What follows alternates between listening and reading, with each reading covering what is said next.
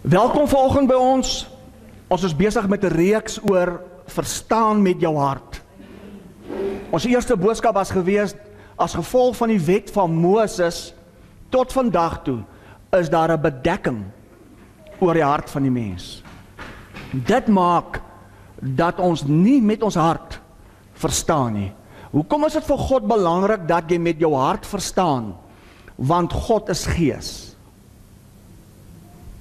As God fisies sigbaar was en God het nou op daardie stoel gesit, dan sou ek en jy hom met ons natuurlike verstand makliker verstaan het. Maar omdat God gees is, verstaan jy hom met die hart. 'n Voorbeeld, kos vat liefde.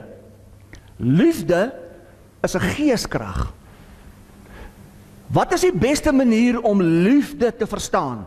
Met jou verstand of met jou hart? Dis hoe God hom uitdruk. Dis hoe God hom uitdruk. Kos vat die teenoorgestelde, kos vat vrees. Vrees is 'n geesding. Waar is vrees? Is vrees aan jou verstand? Of sukkel jy met vrees of verslawing of wat ook al? 'n Geesding in jou hart. Hoekom soek God ons hart? God soek jou hart want God wil hom in sy volle kapasiteit van wie en wat God is in en deur jou openbaar maak as sigbaar. Want immers het God gesê laat ons mense maak na ons beeld, na ons gelykenis. Wat is God se beeld? God se gees. Waar? Christus in jou. Dit maak jou God se beeld. Wat is God se gelykenis? God se gelykenis is God alleen besit onsterflikheid.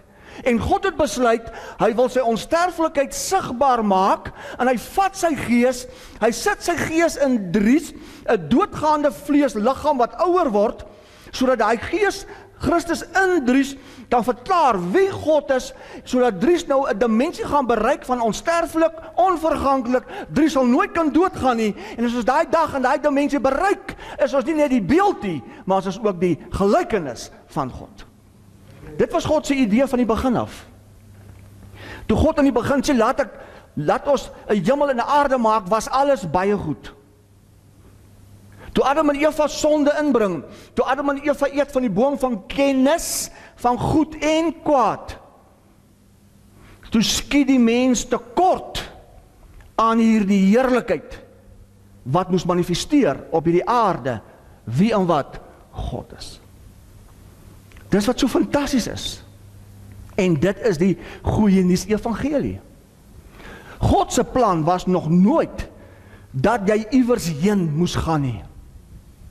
God het nie God het nie 'n senuwee in een sinking gehad nie. God het gesê die hemele is hemele vir die Here, maar die aarde het hy aan die mense kinders gegee. En God het nog nooit van opinie verander nie. Daarom, daarom, daarom al ons geliefdes wat ontslaap het, al ons geliefdes in Christus wat ontslaap het, wat nou soos ons dit ken in die hemel is, gaan hy terugbring vir sy plan. Ek het verlede jare reeks gepreek van dit is op die aarde. Kry dit op YouTube, gaan kyk dit mense. Dit is so fantasties. Kry dit, gaan kyk dit. Ek het onder andere daar bedien oor die einde van die wêreld. Luister, die einde van die wêreld, nie die einde van die aarde nie. Daar's 'n verskil. Het jy geweet elkeen wat ver oggend hier sit, elkeen wat ver oggend hier sit, en wat in Kuruman bly, leef sy eie wêreld. Het jy geweet daar's huwelike mans en vrouens wat al vir 50 jaar getroud is, maar elkeen van hulle leef sy eie wêreld. Het jy geweet as ek jou na my huis toe nooi, as my straat 14, dan gaan wys ek vir jou hoe lyk my wêreld. Nou God het einde gemaak aan die wêreld. Sodat hy sy wêreld, wie en wat hy is, op die aarde weer kan openbaar maak en hy noem dit sy koninkryk, hy noem dit sy domein en met die verlossing en die opstanding stort hy daai wêreld, daai koninkryk reeds in jou uit. Dis reeds 'n onsigbare in jou en wat is sy wederkoms? Wat is sy parousia? Dit in jou gaan net sigbaar word. Dis al. Waar is die hemel?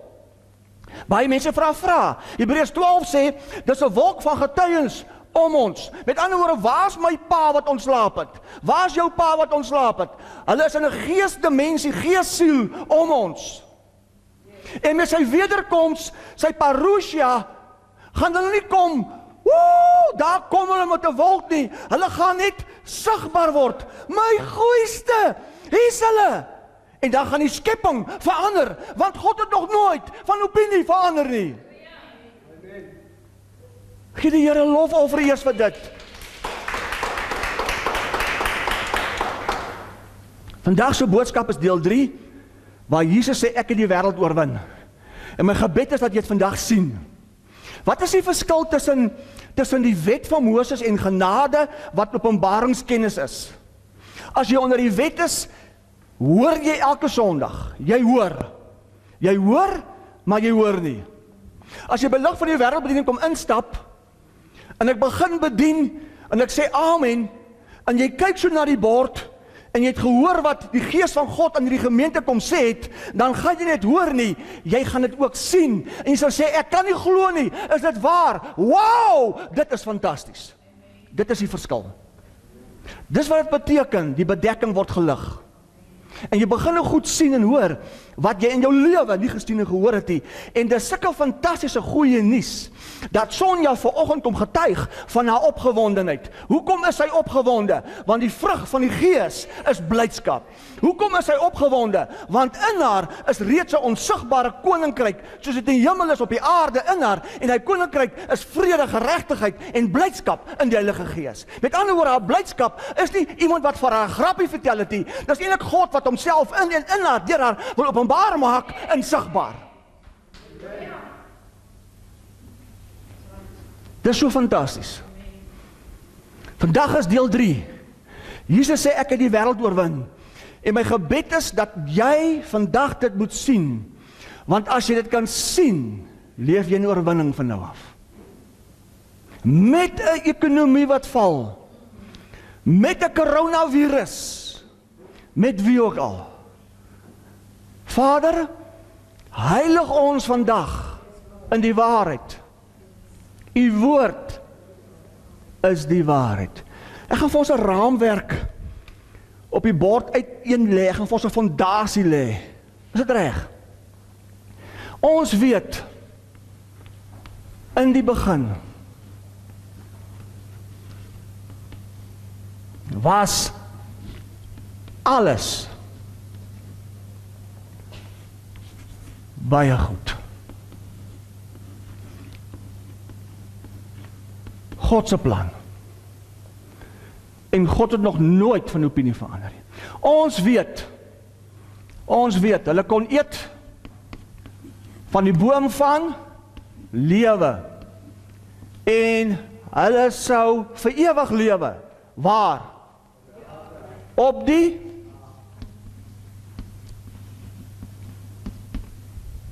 Ons weet dit. Maar ons weet ook Adam het sonde kom inbring. En deur sonde die dood. En toe het Adam alles vervloek. Waar? Op die So alles wat baie goed was in die begin is as gevolg van Adam vervloek die aarde. En so het die mens op die aarde maar aan gekarring. Maar gelukkig God het nog nooit van opinie verander nie. En die God wat ek aan jou wil voorstel is gister, vandag en tot in ewigheid dieselfde. En daai God bring 'n verlossing. Hy bring 'n verlossing. En hy kom verlos die mens van die vloek. Maar dis nie al nie. Johannes 3 vers 16 sê so lief het God die wêreld Daai woordjie wêreld beteken kosmos. Daai woordjie wêreld beteken die aarde. Daai woordjie wêreld beteken die skepping. Daai woordjie wêreld beteken en die mens daarop. So met ander woorde, toe Jesus op die kruishout sterf, toe sterf hy nie net vir hierdie verlore mense sondes Toe smaak hy nie net hierdie verlore mense dood nie, want die loon van sonde is die dood. Toe sterf hy die vloek van Adam op die skepping weg, want hy het gesterf vir die kosmos, die aarde, die skepping. Hy het selfs gesterf vir daai kameeldoringboom wat Adam vervloek het want van die begin af het God nog nooit van opinie verander nie alles alles alles sal weer wees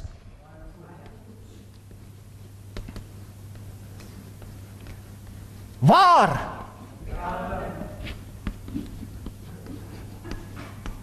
Dis klaar is jokker. Dis klaar is jokker. God het nog nooit van opinie verander nie. En hy kom bring 'n verlossing vir die wêreld. Hy kom word. Hy kom word op die kruis. Die vloek.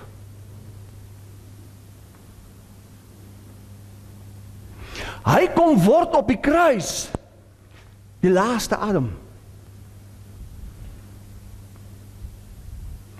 Hebreërs 10 vers vers 7 8 9 sê Vader ek het u wil kom doen. Ek het die eerste kom wegneem om nou die tweede te kom stel. Want Vader u het nog nooit van opinie verander nie. En toe hy op die kruis sterf toe sterf jy. Die loon van jou sonde toe kom word hy jou sonde 2 Korintiërs 5:21 sê hy het hom wat geen sonde geken het nie sonde vir jou gemaak. Luister mooi luister mooi sodat jy nou kan word. Luister mooi luister mooi kerk. Daar staan nie sodat jy nou kan gaan hemel toe nie sodat jy nou kan word. Waar? Hebreërs 2 vers 9 sê Hy het gekom. Toe sterf hy jou sonde, toe sterf jy as hy, toe sterf hy as jy jou sonde. Want die loon van jou sonde was die dood. Hebreërs 2 vers 9 sê, toe smaak hy as jy namens jou jou dood.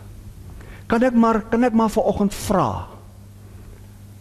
As hy jou sonde geword het, Is dit nog nodig vir jou om in sonde vasgevang te wees en te sukkel? Of dink jy nie miskien hy kan jou help met dit om ook vry te kom nie? Sê gou vir my, as hy jou dood vir jou gesmaak het. As hy jou dood vir jou gesmaak het, moet jy dit smaak?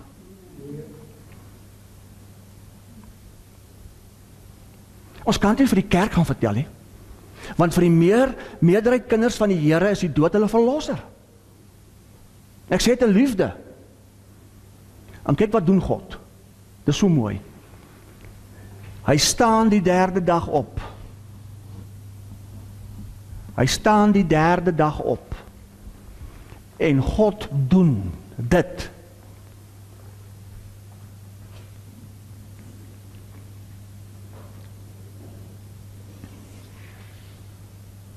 God doen dit presies weer hier en hy noem dit 'n nuwe begin. Sodat ek en jy nou weer kan eet van die boom van die lewe en weer begin vir ewig. Waar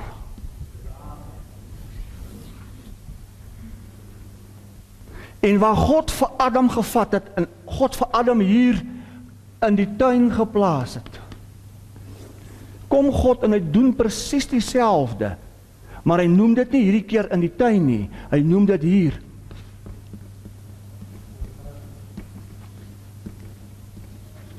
En dit wat Adam en Eva beleef het voor die sondeval om te wandel met God om God se aangesig te sien, om God se goedheid te geniet, het God presies hier gedoen, maar ons as kerk is nie met dit besig nie. Ons is hier. Ek is 'n arme sondaar. Ek is dit nie werd nie. Ek moet doodgaan. Jy het nog nooit by waarheid uitgekom nie. Jy het nog nooit regtig by jou verlossing uitgekom nie. Jy wandel nog steeds as 'n vyand van die kruis en as jy by die kruis sou uitgekom het, het jy nog nooit by jou nuwe begin uitgekom nie, want volgens God behoort ons nou eintlik almal aan die opgewekte Christus. Daar's nou skielik vir ons iets anders. Wie wil vandag uitvind? Wow. En dis wat dit beteken, die wet het 'n bedekking kom plaas. Die wet het ons so 'n bedekking op hulle kom plaas. Hulle kan dit nie sien nie. Want dit moet jy verstaan met jou hart. Here, ek is bevoorreg. Ek is bevoorreg om te hoor en te sien wat ek hoor en sien.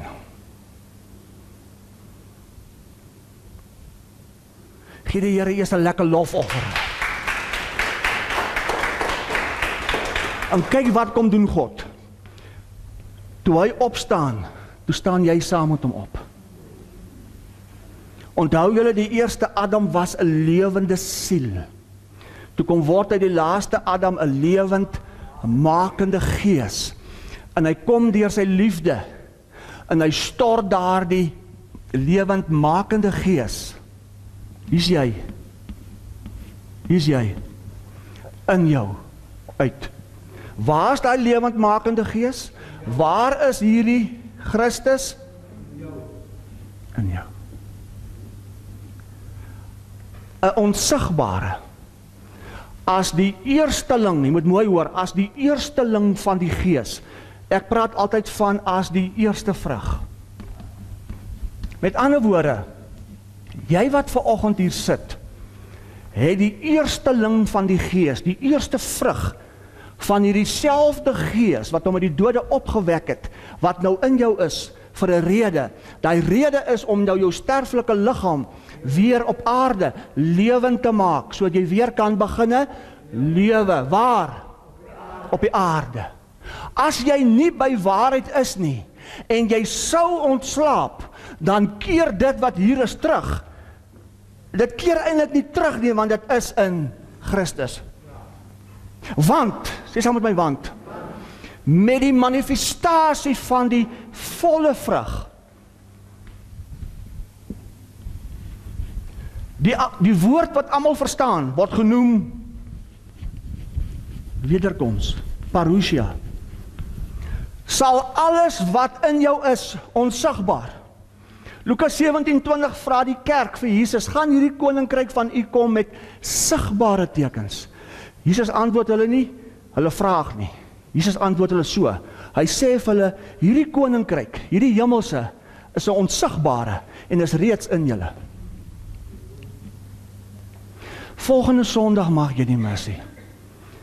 Volgende Sondag se boodskap gaan wees geestelike abortus in die kerk. Dis radikaler as radikaal. Nou moet ek eers jou vra. Waar is die koninkryk die volheid wie en wat God is? Waar is dit? As onsigbaar in jou. En uit hierdie volheid kan ek en jy nou as eerste vrug, eersteling weer beginne lewe. Dit beteken jy eet nou weer van die boom van die lewe soos dit was voor die sondeval alles baie goed waar nou in Kuruman. Dis hoekom die woord sê die regverdige kan deur die geloof nou weer beginne lewe. Dis wat dit beteken.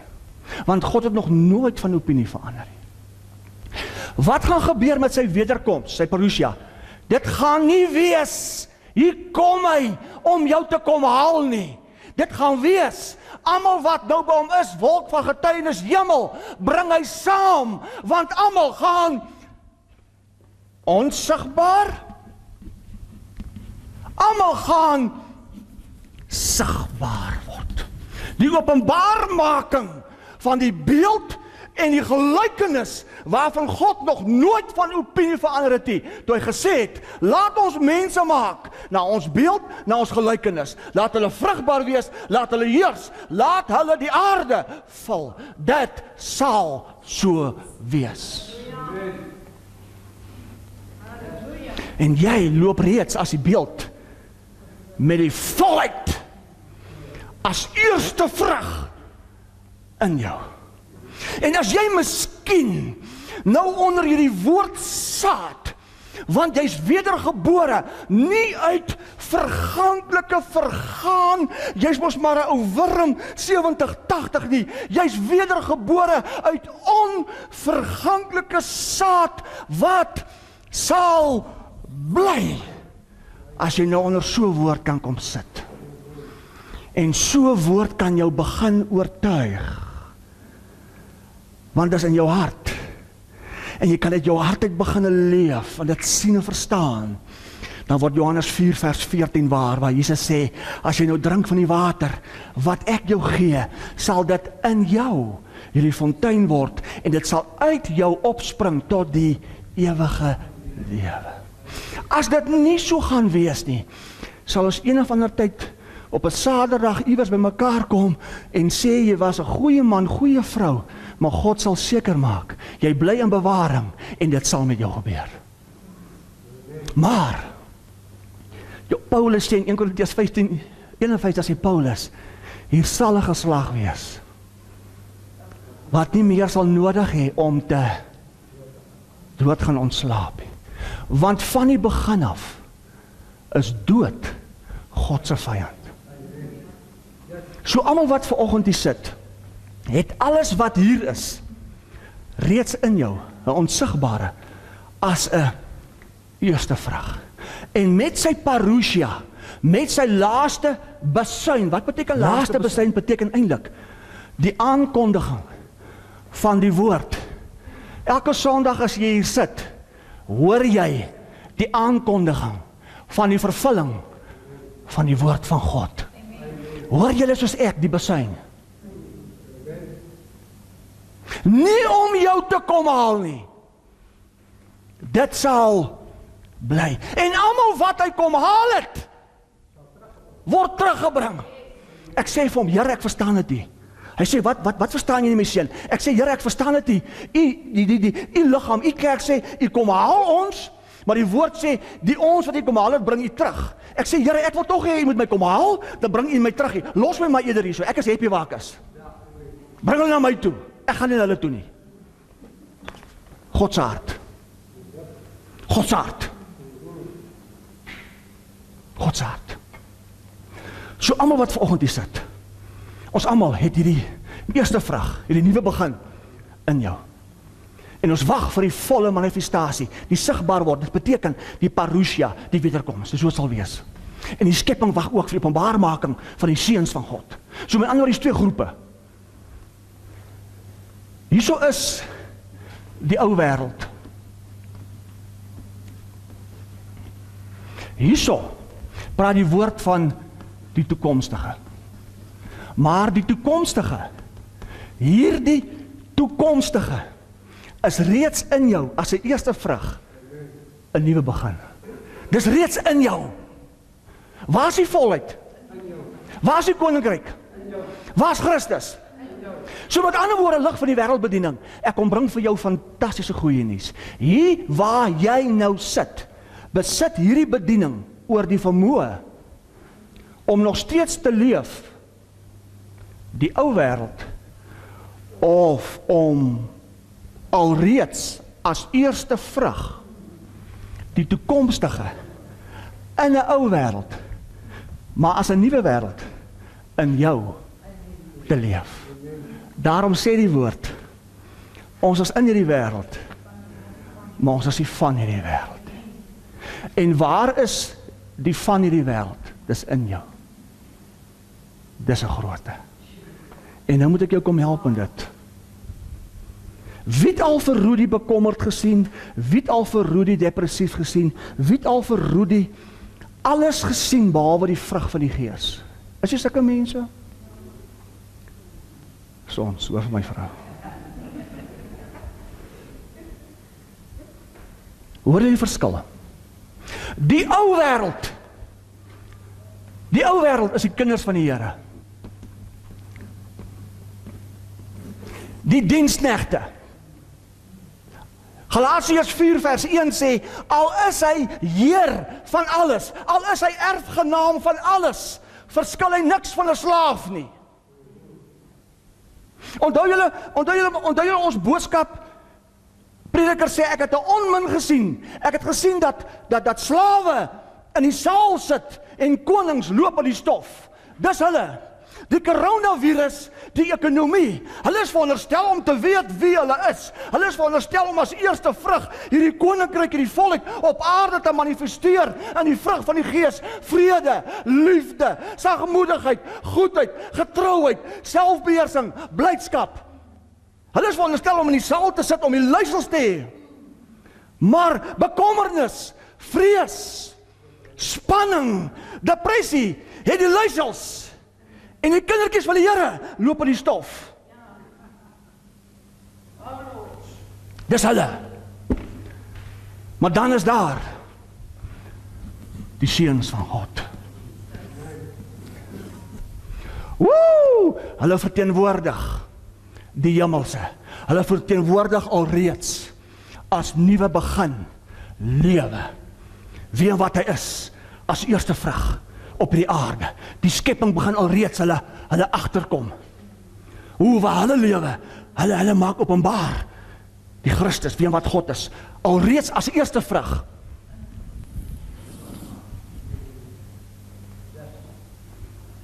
Hierdie ouetjies, die kinders van die Here, hulle se eindbestemming, hulle is op pad hemel toe.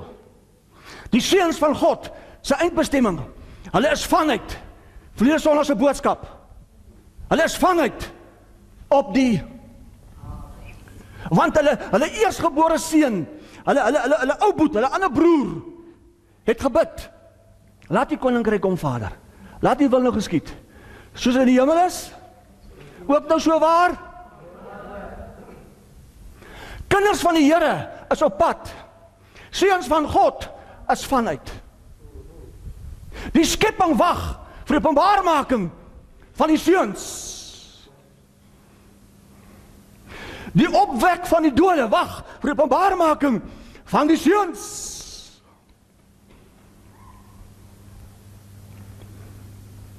As dit nie mooi nie.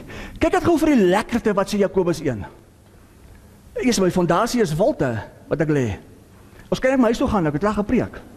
Kyk wat sê Jakobus 1 oor oor hierdie seenskap, hierdie eersgeborene. Ai my, dis te groot hierdie goed. Verstaan julle? Ek kan nie korter preekie. Ek probeer my bes. Ek probeer my bes. Die goed is te groot want dit is 'n leefwyse wat ek vir jou bring. Verstaan almal so ver? Besef jy wie jy is?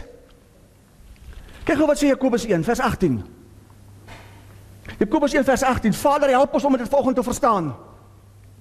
Jakobus 1 vers 18 sê volgens sy wil het hy ons voortgebring. Wie se wil? Sy wil. Volgens sy wil het hy ons voortgebring deur die woord van die waarheid sodat ons as eerstelinge van sy skepsel kan wees. Dit beteken as eersteling beteken ek leef alreeds op hierdie de mekaar stuk in 'n wêreld, die toekomstige as 'n eerste vrug in my. Ek beleef dinge anders, ek sien alles anders. Jy verstaan my nie, maar jy's altyd hierdie ou wat manifesteer wie en wat God is. Ek leef dit reeds. Dis hoekom die woord sê vernuwe jou denke. Hoekom moet jy jou denke vernuwe? Jy vernuwe jou denke om te shift van 'n ou na 'n nuwe. Dis al. En doen God die res.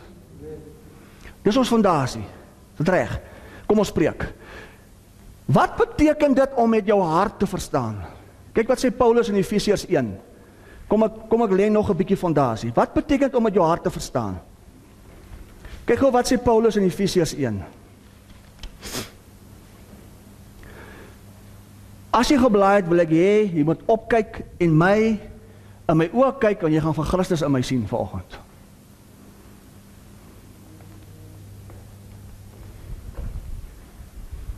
En dan gaan ek iets sê oor die koronavirus. Ek moet dit sê.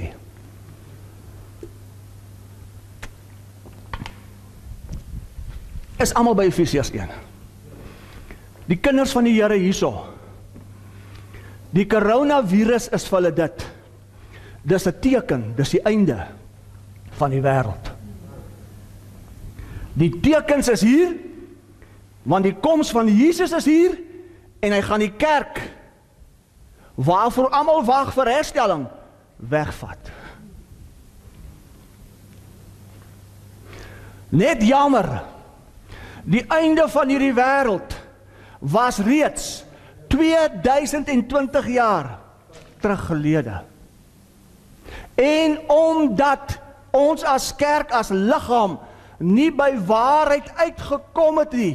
En Jakobus 1 vers 18 sê maar ons het die eersteling vrug as die eerste om die skepping en alles te change omdat ons as liggaam as kerk nie dit sien nie is die ou wêreld nog steeds hier sigbaar van toepassing. So die kinders van die Here sê die koronavirus is nog 'n teken van die einde is hier. Die seuns van God sê bring daai koronavirus dat hy aan my kom raak, dat hy kan vrek want ek is die openbarmaking as seun, die Christus, wie en wat God is op die Dis die verskil. Hoekom? Dis net God se genade. Besit ek oor 'n immuniteit dat 'n virus nie aan my raak nie. Hoekom kon 'n wond binne 3 dae genees bo natuurlik? Hoekom?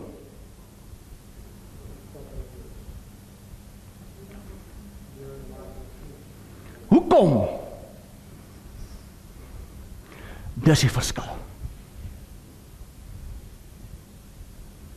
En almal wat ver oggend hier sit, het daai eerste vrug van wie wat God is in jou en alles om jou, hierdie skepping, hierdie aarde, hierdie koronavirus wag vir jou om sy dode te sterf. Vir hierdie ouens is dit 'n teken. Hulle gaan God kom haal 'n einde. Vir hierdie ouens is dit die teken 'n nuwe begin. Bring dat ons kan deel ons erfeneskap, wie wat ons is, seuns van God op hierdie aarde. Dis die verskil tussen die twee. Gee die Here 'n bietjie lekker lof oor. Dis ek moet ek moet ek moet my gedra vanoggend. Ek sê ek wil uithaak vanoggend. Verstaan julle ietsie van 'n ou se van 'n ou se radikaliteit van wie en wat jy is? Want dit is nie eintlik wie jy is nie, is eintlik Christus in jou, is eintlik hemel op aarde. Sê vir my is in die hemel 'n koronavirus? Is in die hemel siekte? Is in die hemel dood? Waar is hemel? Onsagbare in jou om wat te doen? Om siek te word? Om dood te gaan? Om te bewe vir 'n koronavirus?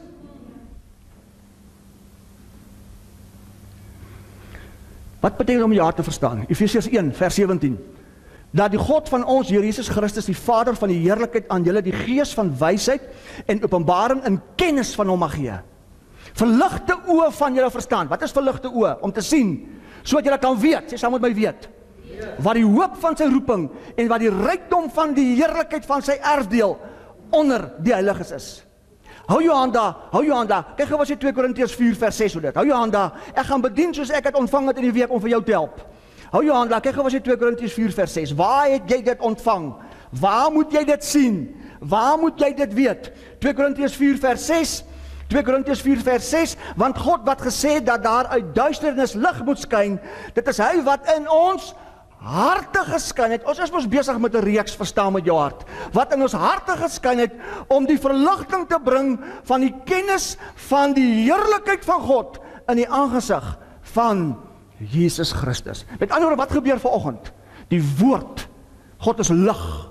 Hy kom skyn sy lig in jou hart sodat jy met jou hart vanoggend dit kan sien, sodat jy met jou hart kan weet want die volheid, dit alles as eersteling vrug is reeds in jou hart. Kom ons verder. Vers 19. En wat die uitnemende grootheid van sy krag is vir ons wat glo. Met ander woorde, hoe glo jy? Wat beteken glo? Jy word oortuig in jou hart.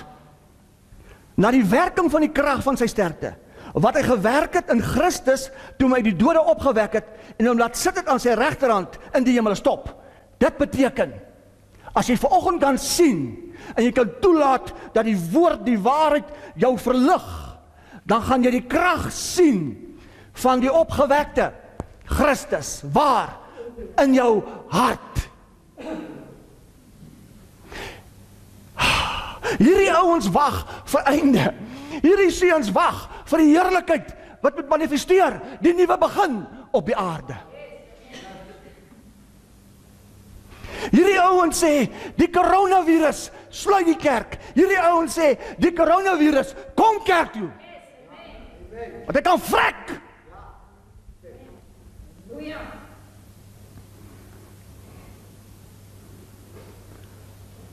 As ons dit gaan doen nie. Dis my boodskap is te groot. Want as as ons dit gaan doen nie. Want op die kruis het hy dit klaar gedoen. Hoe wag hy vir jou? En hy wag vir jou as seun om dit te doen. Daar's 'n groot verskil tussen ek wil 'n bietjie preek tussen kindertjies van die Here en seuns van God.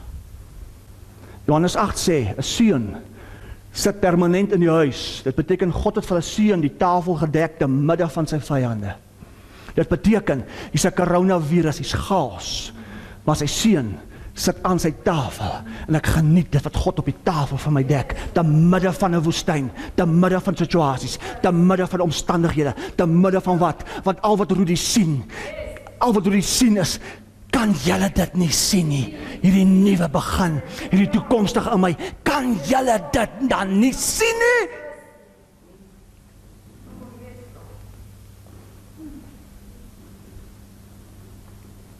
Vers 20. Wat hy gewerk het in Christus toe hy die dode opgewek het, sê vir my, is net Christus die dode opgewek is jy is jy ook in die dode opgewek. En hom laat sit dit aan sy regterhand en jy maar waar sit jy vanoggend? Onthou julle ons preke? Sit jy ook daar? Hoekom moet jy dink of 'n nuwe? Sodat jy nou van daai platform af moet redeneer. Maar daai platform is nie afstand nie. Daai platform is toestand want dit is eintlik in jou. Here jy moet help. Vers 22. Bo alle owerheid en mag en krag en heerskappy en elke naam wat genoem word, nie alleen, luister mooi, luister mooi, en elke naam wat genoem word, nie alleen in hierdie wêreld nie, maar ook in die toekomstige wêreld. Kyk op die bord. Toe op die kruis sterf, toe sterf jy. Toe sterf jy hierdie wêreld. Sodat alle dinge in hierdie wêreld, siekte, sonde, dood 'n naam het, maar sy naam is bo hierdie naam. En hy sê, want God het geweet, die kindertjies van die Here gaan nie luister nie. En nie verstaan nie. Toe sê hy, nie net in hierdie wêreld nie, maar ook in hierdie toekomstige wêreld. Waar is die toekomstige wêreld? in jou. So jy nie vermoë. Ek mag my hand opsteek om my twee verskillende wêrelde te lewe. As jy uit hierdie wêreld lewe, is dit die boom van kennis van goed en kwaad en jy gaan dood. As jy uit hierdie wêreld leef, is dit die boom van die lewe en jy bly lewe. Jy kan kies vanoggend. Dis 'n keuse. Dis 'n keuse. Dood en lewe is in die mag van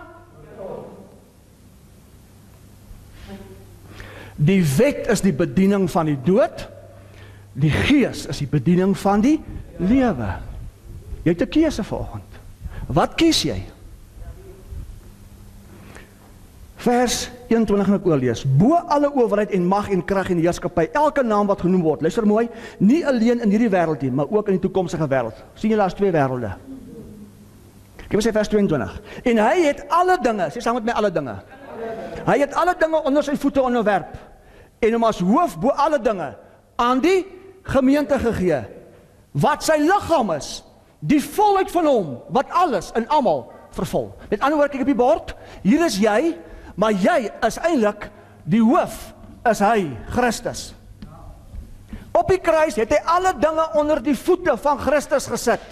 Wie is dan die voete? Is hy die hoof is en jy's die liggaam? Onder wie se voete? Onder jou voete. As jy die liggaam is. Wanneer gaan sy wanneer gaan wanneer gaan sy wederkoms plaasvind? Hy sê in Hebreërs 10 Hy sê, hy sê in Hebreërs 10, "Dis so mooi, mag jy dit sien." Toe hy op die kruis sterf, toe sterf jy. Toe sterf hy sondes, die dood weg. Alle dinge is onder sy voete. Toe hy die derde dag opstaan, toe staan jy as hy op. Hy as jy op. Nou is hy die hoof en jy is die liggaam. Nou sê Hebreërs 10, hy sit nou aan die regterhand en hy wag totdat sy vyande onder sy voete gestel is, maar op die kruis het hy dit klaar onder sy voete gestel. Hy as hoof wag nou vir die liggaam, ons as kerk om alle dinge wat vyande is onder ons voete te stel, deur ons denke te vernuwe, deur in ons hart oortuig te word, deur te begin glo. En as dit gebeur met die hele liggaam, dan gee hy die koninkryk terug aan God die Vader. Dan neem hy sy posisie in saam met die ander seuns. As hy openbaar maak van die seuns, dan verander die skepping. Dan is alles weer soos dit was, baie goed. Yes. Vergeet my as ek opgewonde raak. Intussen moet hy wag. Hy wag al vir 2020 jaar want die liggaam, die kindertjies, die koronavirus is 'n teken. Dit is die einde. Dit was 2020 jaar terug al die einde. Hy wag vir die seuns. Om 'n koronavirus siekte, dood te manifesteer as 'n eersteling vrug onder my voete, want ek weet wie ek is. Ek is hier om 'n impak te maak. En as ons as liggaam as kerk almal nie daai geloof gaan hê nie. Daarom sê hy, daarom sê in Efesiërs 4, hy het nou sommige geroep om die heiliges toe te rus totdat almal gaan kom tot eenheid van die geloof, tot 'n volwasse man, tot die volle grootte Christus. Solank ons nie daar is nie, sal hy wag. Kan ek sê wat ek wil sê? Die hoofoorsaak van alles soos dit nou gaan, is die oorsaak van kinders van die Here wat nie met die waarheid besig is nie.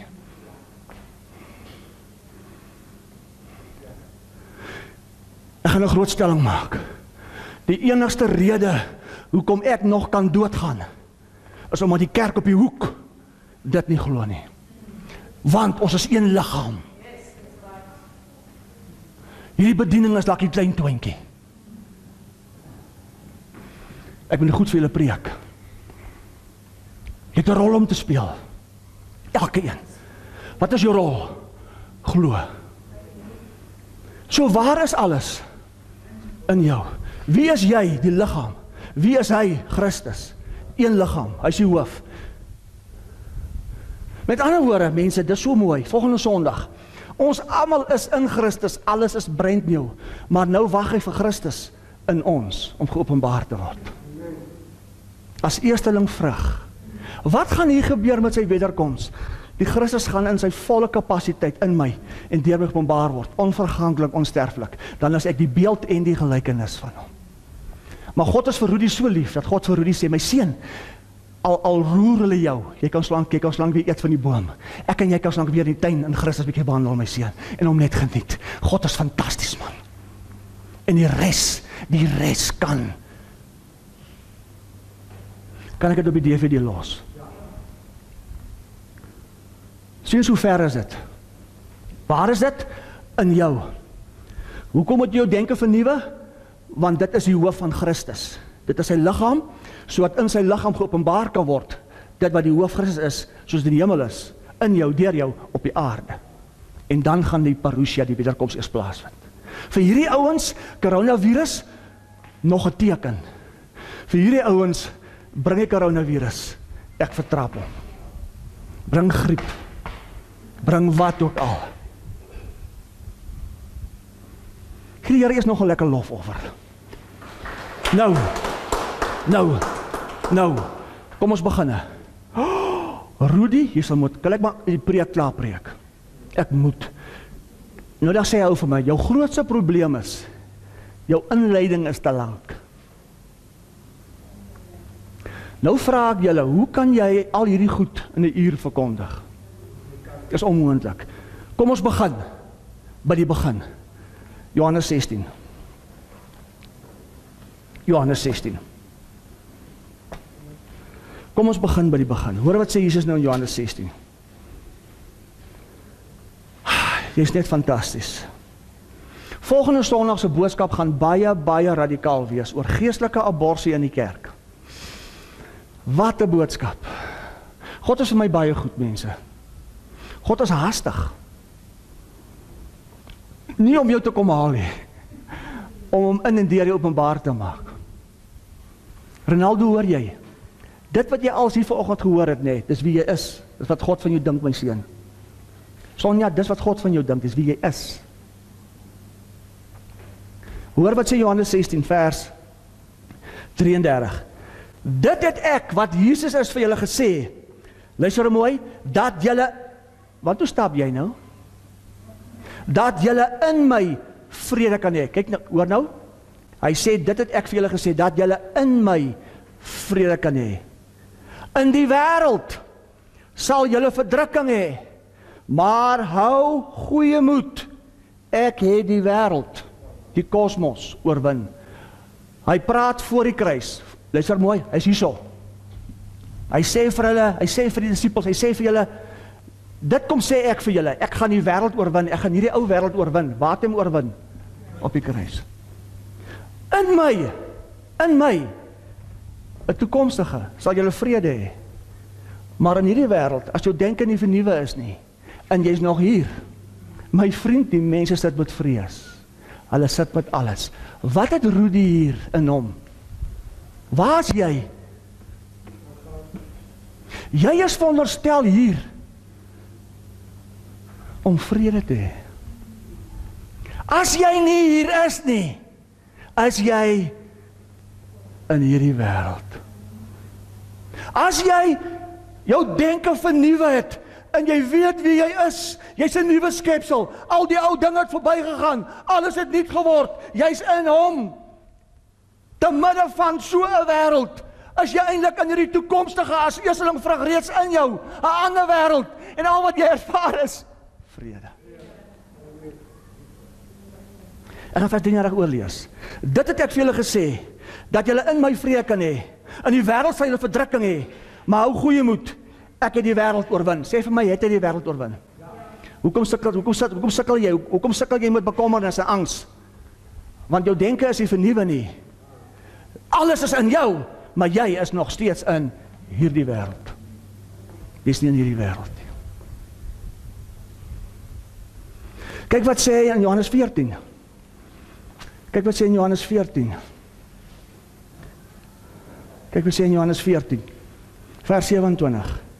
Hy sê in Johannes 14:27 vrede laat ek vir julle na.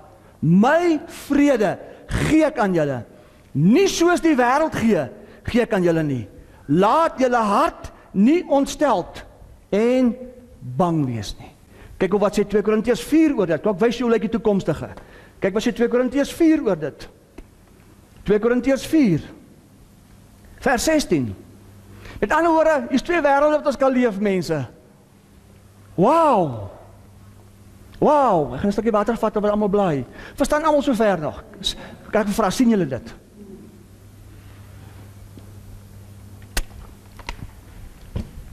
Kyk, dis 2 Korintiërs 4:16. Daarom gee ons nie moed op nie. Maar al vergaan ons uiterlike mens, nogtans word die innerlike mens dag na dag vernuwe. Kyk die bord. Hier's 'n ou wêreld Hier's 'n toekomstige wêreld. Die toekomstige wêreld is in jou. Nou praat hy van dit as 'n innerlike mens. Buite om jou is die uiterlike mens. Oh, hier's 'n koronavirus, 'n uiterlike mens. Wees versigtig, maar hier is 'n innerlike mens. Christus in jou, hy's groter as die koronavirus. Waar leef jy? Watter wêreld leef jy? Hierso uiterlike mens, hierdie wêreld, die ekonomie, Die einde van die maand, daar's nie finansies nie. Die innerlike mens, Christus in my, ek sit aan die tafel van God. Hy weet wat ek nodig het. Watter wêreld leef jy? Waar lê jou oortuiging? Want jou oortuiging, dit wat jou denke is, ou denke, moeilikheid, nuwe denke, haleluja, God is goed. So persoonlik is dit. So naby en so persoonlik is dit. Ou wêreld, die naweek, 'n geselskap, Ons moet almal doodgaan. Nuwe wêreld, toekomstige innerlike mens, ek sal nie doodgaan nie. Twee verskillende wêrelde. Wie gee jou die reg, Rudy? Christus in my gee my die reg. Want ek het gesterwe en ek leef nie meer nie, maar Christus in my, nuwe mens, nuwe wêreld leef. Ons as kerk is arm. Ons is geestelik arm. Kyk wat sê vers 17. Want ons ligte verdrukking wat vir 'n oomblik is, bewerk vir ons 'n alles oortreffende ewige gewig van heerlikheid omdat ons nie let op die on, op die sigbare dinge nie, maar op die onsigbare. Want die sigbare dinge is tydelik, maar die onsigbare, dit wat in jou is, is ewig. Waar's ewigheid? Waar is ewig? Waar is ewig in die hemel of in jou?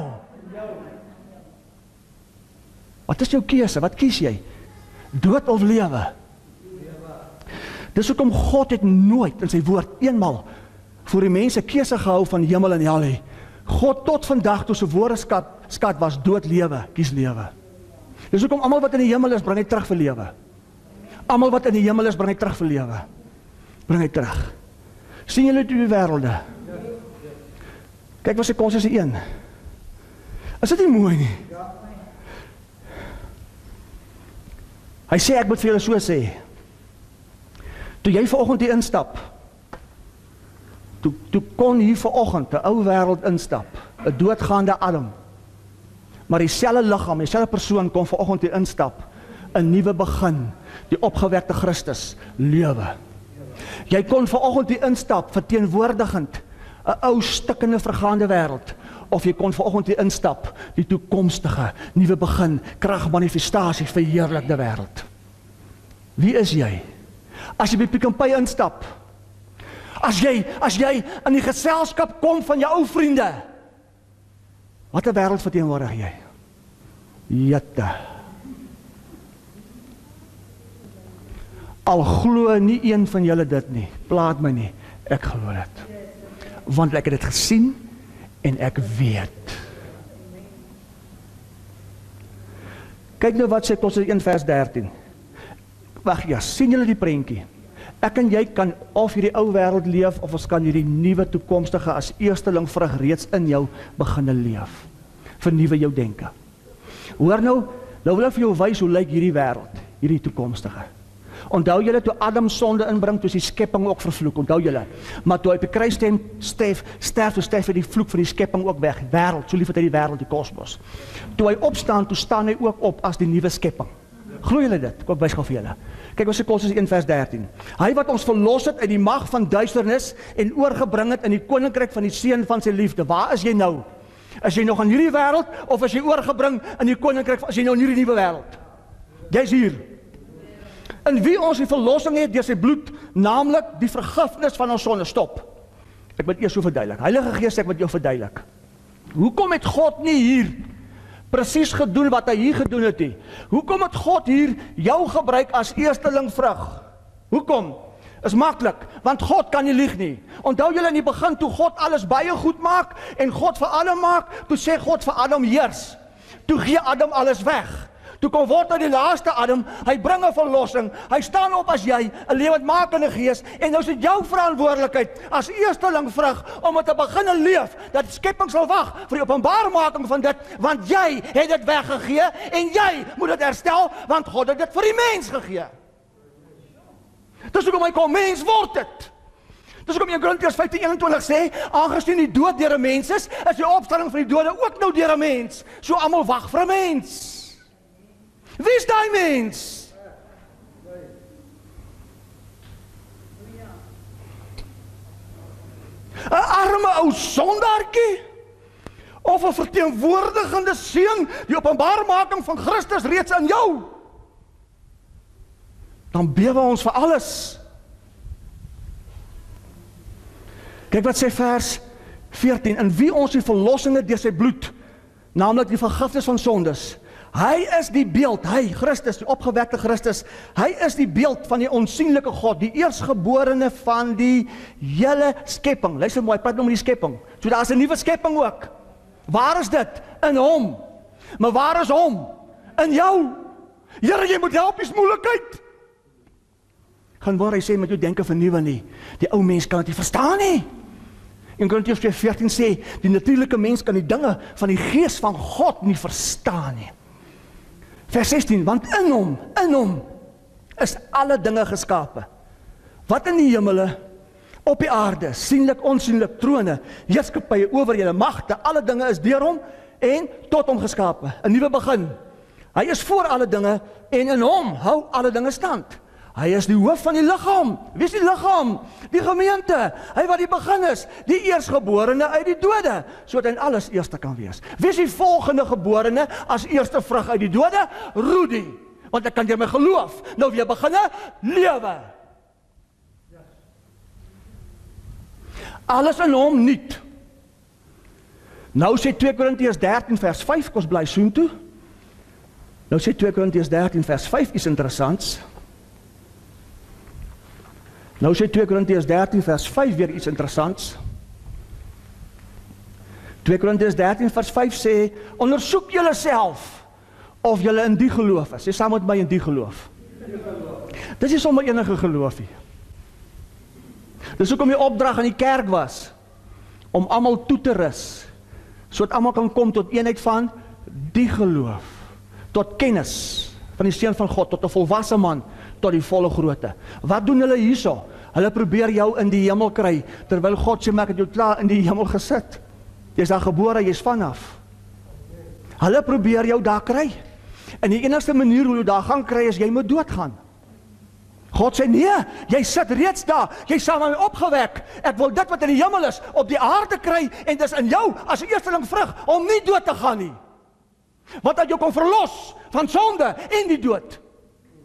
Vir hierdie ouens het hy jou verlos van die hel om hemel toe te gaan. Vir hierdie seuns het hy jou verlos van sonde en die dood om te bly lewe. Romeine 8 vers 2, want die wet van die gees van lewe in Christus het jou vrygemaak van die wet van sonde en die dood dat jy weer kan lewe. Want almal wag vir jou, want in hom is die nuwe skepping, is alles. Maar waar is hom? 2 Korintiërs 13 vers 5. Ondersoek julleself of julle in die geloof is. Stel julleself op die proef dat Jesus Christus dalk nie miskien in julle is nie. As jy ten minste nie verwerplik is nie. So waar is daar? Hier. Waar is hier? daar. Vernuwe jou denke. Ah, kerk. Kerk. Kerk, daarom. Kyk wat sê Kolosse 1. Kerk. Vers 24. Ou Paulus sê nou verbly ek my in my lyding vir julle en vul in my vlees aan die oorblyfsels van die verdrukkinge van Christus vir sy liggaam wat die gemeente is. Waarvan ek 'n dienaar geword het volgens die bediening van God wat aan my gegee is in julle belang om die woord van God te vervul. Kyk op die bord. Hoe gaan ek die woord van God vervul? Ou wêreld om vir 'n einde te wag of 'n toekomstige in my dis die begin van alles moet herstel. Handelinge 3:21, Handelinge 3:21 skryf neer. Handelinge 3:21 sê hy sit aan die regterhand en hy wag vir die wederoprigting. Hy wag vir die herstel van alles. En waar is die eersteling vrug? Vir wie wag hy? Vir my en vir jou. Om net te begin glo, oortuig te word. Kyk wat sê in vers 26. Nou vertel hy vir ons, naamlik die verborgenheid is 'n geheim. 'n bedekking wat gelig moet word wat van eeue en geslagte af verborge was maar wat nou geopenbaar is aan sy heiliges. Aan wie God wil bekend maak wat die rykdom van hierdie heerlikheid van die verborgenheid onder die heidene is. Dit is Christus onder julle. Al die ander vertalings sê dit is Christus in julle die hoop van hierdie heerlikheid. Stop. Wat is die hoop van hierdie heerlikheid? Numeri 14:21 is Moses en God in gesprek. En God sweer teenoor Moses dat God se heerlikheid soos in die hemel is sal die aarde vul Habakuk 2 vers 14 sê die kennis. Hoekom moet jy kennis hê? Want die heerlikheid is waar in jou. Die kennis van hierdie heerlikheid sal die aarde bedek, vul soos wat die waters die seebodem bedek. So die hoop van alles, die hoop van die skepping, die hoop van God. Luister kerk, my Pa wat in die hemel is se hoop is alles in jou. Wat glo jy? Almal wag vir jou. Die kinders van die Here wag vir hom. Hier kom hy met die wolk. Die hemele, God aan die regterhand, die skepping, almal wag vir jou. Die openbarmaking van dit. Die Here sal moet help. Die Here sal moet help. Vers 27 aan wie God wil bekend maak wat die rykdom van die heerlikheid van die verborgenheid onder heidene is. Dit is Christus in julle. Dit is Christus onder julle, die hoop van die heerlikheid. Vers 28. Hom verkondig ons nou terwyl ons elke mens vermaan en elke mens in alle wysheid onderrig om elke mens nou in die hemel te kry. Wat staan daar? Om elke mens nou volmaak in Christus voor te stel. Wat is my roeping? Om vir jou te kom openbaar maak wie jy in hom is en wie in jou is sodat jy denke kan vernuwe en dan word dit sagbaar. Kyk hoe interessant dit wat om die skepping. Kyk kyk kyk wat sê Romeine 8 oor dit. Romeine 8:23 net. Kyk wat sê Romeine 8:23 oor dit. Romeine 8:23. Ek gaan 'n bietjie vinnig gepreek nou. Romeine 8:23. Kyk wat sê Romeine 8:18 oor dit. Ekskuus julle. Ek moet dit vir jou wys. Kyk wat sê Romeine 8:18 oor dit. Romeine 8:18 sê want Paulus sê want ek reken dat die lyding van die teenwoordige tyd nie opweeg teen die heerlikheid wat aan ons openbaar sal word nie. Ek het gister gister sê jy vir my verkeerd vertaal. Gaan kyk ek. Daar staan eintlik maak reg. Daar staan want ek reken dat die lyding van die teenwoordige tyd nie opweeg teen die heerlikheid wat in ons openbaar sal word nie. Daar moet staan in. Nie aan jou nie, in jou. Waar is die hoop van dit? Wat gaan gebeur? Dit gaan openbaar word. Kyk wat sê vers 23. En nie alleen dit nie, maar onsself ook wat die eersteling van die gees, eerste vrug het, ons sig ook aan onsself in afwagting. Luister mooi, van die aanneming tot seuns, naamlik die verlossing van ons liggaam. Ons verstaan dit almal nê. Kyk nou wat sê 1 Johannes 4 vers 4. Kom ons probeer klaar maak maar. Kyk nou wat sê 1 Johannes 4 vers 4. Ek gaan probeer klaar maak. 1 Johannes 4 vers 4. Hoor wat sê? Almal almal sien dit. Kan almal sien dis twee wêrelde. Die een is buite en die een is binne. Wat een leef jy? Wat is die probleem met Christendom? Die probleem met Christendom is dit. Kinders van die Here leef van buite af binne toe. Omstandighede, situasies, moeilikheid. Seuns van God leef van binne af buite toe. Dis die verskil. Dis die verskil. Onthou julle die vrou wat aan bloedvloeiing gely het? Toe Jesus toe Jesus op die aarde wandel as hy maar net aan aan sy soem kon raak. Toe sy aan sy soem kon kom raak toe draai Jesus om en hy vra wie het aan my geraak want iets het uit Jesus uitgegaan en sy's genees. Kinders van die Here is altyd ons Vader in die hemel. Dis afstand. Jy hier arme sondaar hy daar. Jy's op pad. Seuns van God dis in jou. Dis nie hy daar nie, daar is hier, hier is daar een en as 'n koronavirus, 'n griepvirus aan jou kom raak, gaan die krag uit jou uit. Kinders van die Here moet bid, daai ding moet vrek. Ek hoef nie te bid nie, as daai ding aan my raak, vrek hy. Amen. Yes.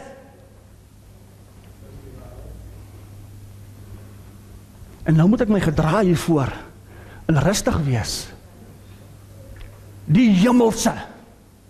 Alles wat in hom is, is in jou. Vernuwe jou denke. Kyk wat sê in Johannes 4 vers 4. Julle is uit God, my kinders. Is jy uit God gebore? En het hulle oorwin. Omdat hy wat in julle is groter is as hy wat in die wêreld is. Kyk op die bord. Jammer dat ek kinders van die Here gebruik. Ek veroordeel hulle nie, maar ek moet hulle gebruik dat die seuns van God kan sien. Vir die kinders van die Here hier is die koronavirus groot.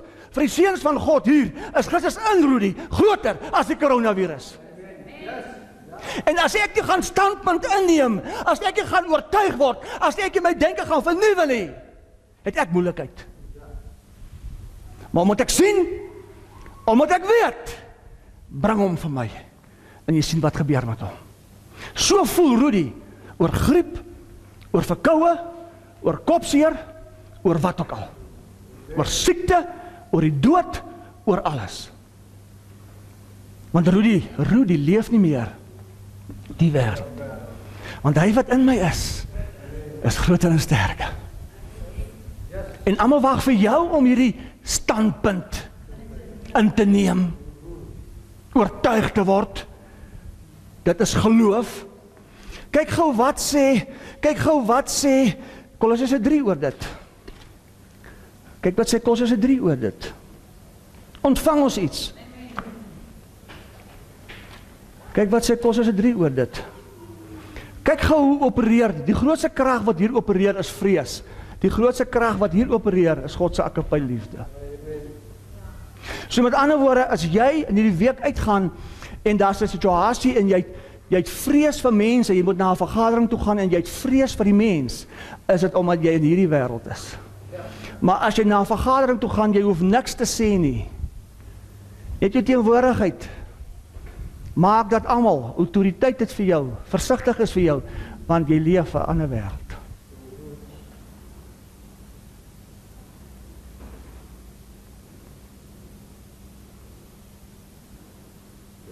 Hoor ons. En die verskil tussen die twee is vernuwe jou Maar hoe vernuwe jou denke? Kennis. Kom sit onder die woord, anders jy dit nooit reg kry nie. Onthou jy die 5% en 95% want hy doen dit. Kyk gou wat sê Kolossense 3 vers 3, want jy het gesterwe. Het jy gesterwe? En jou lewe is saam met Christus verborge God. Kyk die bord, kyk die bord. As jy hier is, is jou lewe is jou lewe saam met Christus verborge in God, maar hy wat saam met Christus verborge in God is eintlik in jou. Sê vir my, as jy saam met Christus verborge is in God, is daar siekte? Is daar dood? Is daar tekortkominge? Nou waar is daar? Hier. Nou het ek en jy die vermoë om hier te leef of om hier te leef. As eersteling vraag. Mense, ek dit is fantasties. As jy hier leef, gaan vlees liggaam dood. As jy hier leef, begin vlees liggaam reageer. Want dieselfde gees wat hom uit die dode opgewek het, is reeds in jou om hom lewend te maak. Daarom sê Paulus, hier sal 'n geslag wees, 1 Korintiërs 15:50, wat nie meer sal ontslaap dood gaan nie.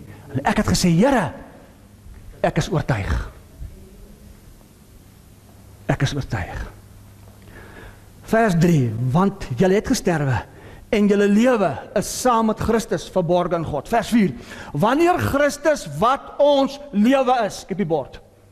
Wat is hier hulle lewe? Eendag na die dood. Daar is die lewe. Maar wanneer Christus hier wanneer Christus wat jou lewe is geopenbaar word, gaan jy nou saam met hom in heerlikheid geopenbaar word. Sê sigbaar word. Sê wederkoms. Sê op die aarde. Gee hom eers 'n lekker hande klap. Hoekom is dit vir God so belangrik? Johannes 12:34 sê die Christus sal die aarde nooit verlaat nie. Nooit. Jy sê ek ek dit gaan te lank vat as ek daai kant toe gaan nou. Kom sluit af. Ons maak klaar. 1 Johannes 5. Ek gaan net 1 Johannes 5 lees, dan maak ons maar klaar. NB. Ons is in hierdie wêreld, maar in ons van 'n ander wêreld. Skryf neer. Ons is in hierdie wêreld, maar in ons van 'n ander wêreld. Watter wêreld leef jy? Ek sluit af met dit. Hoor nou wat sê 1 Johannes 5. 1 Johannes 5 vers 4. 1 Johannes 5 vers 4 sê want alles wat uit God gebore is, is jy uit God gebore? Oorwin die wêreld. En dit is die oorwinning wat die wêreld oorwin. Ons geloof. Jy moet net in jou hart oortuig wat jy hoor. Jy moet net in jou hart oortuig word dat jy geloof as jy as jy oorwin. Skryf neer, Romeine 8:37 sê jy is meer as 'n oorwinnaar omdat God jou eerste liefgehad het. En as jy kan oortuig word van dit, manifesteer jy jou oorwinning. Kom ons maak klaar. Kyk wat sê vers 5. Wie anders is dit wat die wêreld oorwin as hy wat glo dat Jesus Christus die seun van God is? As ons, dit is wat sê vers 9, as ons die getuienis van mense aanneem, kyk by bord. As ons die getuienis van mense aanneem, hier's 'n koronavirus. Dis dood of Ons lees verder. As ons die getuienis van mense aanneem, die getuienis van God is groter. Wat is die getuienis van God? Christus in my. As ons die getuienis van die mens aanneem, die getuienis van God is groter omdat dit die getuienis is van God wat hy aangaande sy seun getuig het. Wie in die seun van God glo, het die getuienis in homself. Hy wat God nie glo nie, het hom tot leienaar gemaak omdat hy die getuienis nie geglo het wat God aangaande sy seun getuig het nie. Kos van tyd. En dit is die getuienis dat God ons die ewige lewe gegee het en die lewe is in sy seun. Hy wat die seun het, hy wat die seun het, Christus in jou. Hy wat die seun het, het die lewe. Wie die seun van God nie het nie, het nie die lewe nie. Kyk op die bord.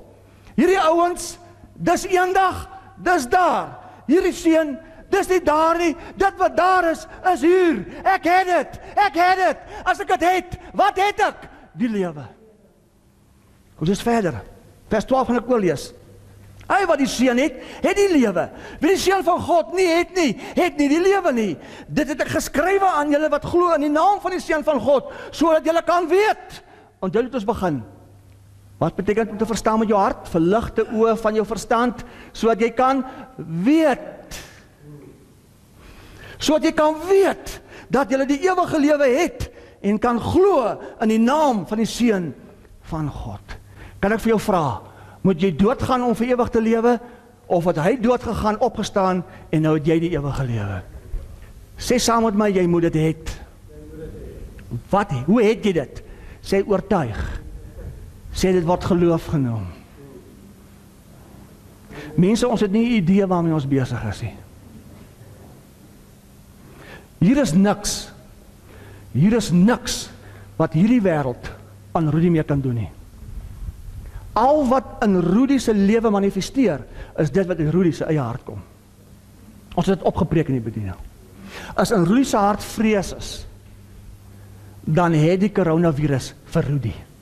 Maar as in Rudy se hart die seën van lewe is, dan het Rudy die koronavirus. As in Rudy se hart vrees is, bekommernis, is Rudy die wêreld. As in Rudy se hart vrede is, selfbeheersing. Wow, ek sit aan sy tafel, dan het die hemel sy manifestasie deur Rudy op die aarde en dit wat die hemel is, het dit wat dood is, dit wat siek is. Dit hang van my en van jou af. Wat is die oortuiging van jou hart? Ooh, weet jy wie jy is in Christus? Weet jy wie Christus is in jou? God is goed. God wag vir jou. Jy is openbarmaking van die hemelse. Vernuwe jou denke. En nou gaan ons aan sy tafel sit. Ons gaan dit prakties toepas. En dit in jou lewe wat nie God is nie, gaan sy knie buig onder die naam bo elke naam en sy naam is Jesus. Amen. Geef mes weer lekker lofoffer.